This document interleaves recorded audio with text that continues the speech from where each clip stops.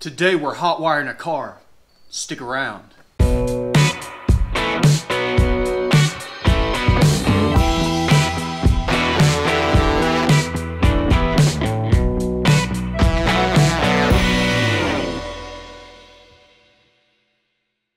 What is going on, everybody? Welcome back to the garage. And okay, disclaimer out of the way don't use this kind of information for malicious stuff.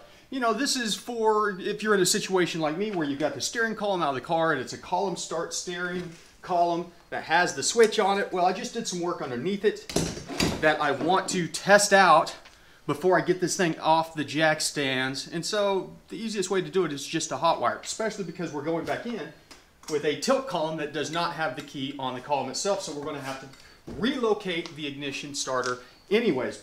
The crazy thing about this is, is it, it, only takes about four wires on these classic cars and this is the mechanism that is on the column itself that goes up to the key and it is driven by this rod as you turn the key forward. Now there's two there's two anti-theft devices built into this. One of them being there's a plate that goes behind here that kind of locks this out to keep you from being able to just turn it without a key. And the other one is they mount this up in between the brake pedals so you can't get the connector off without taking the column out, whatever. So it is as easy as you see in the movies. Literally, guys jerk a couple wires out, twist some together, and then tap them. We're going to do it right now. So let's dive underneath the, uh, whatever, the dash, and let's hotwire this car. Okay, hopefully you guys can see already. Uh, these are the connectors. These two, oh, that's the neutral safety switch.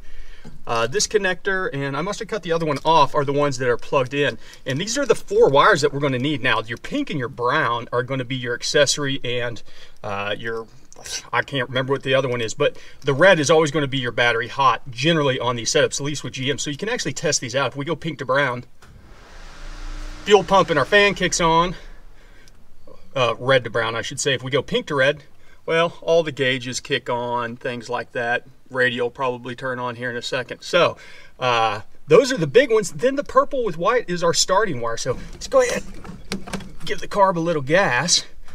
We're going to turn all these systems on and twist them. Literally, this is where you twist it and tape it together. And we'll take our starter. And we just hot wired a car. Yeah, it's literally that easy.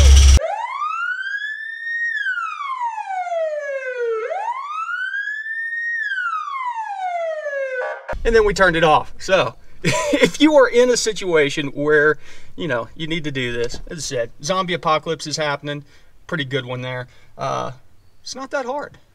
So just a quick fast how-to, I've got to check out, I put a new bung in for the wideband and I ran some new oil cooler lines for the transmission. I want to make sure that they don't leak so I don't have to redo all this work a thousand times over, but I thought you guys might find it interesting how to hotwire a car. I'm going to get back to it. As always, thank you for stopping by the garage. Remember, ABT, always be tuning.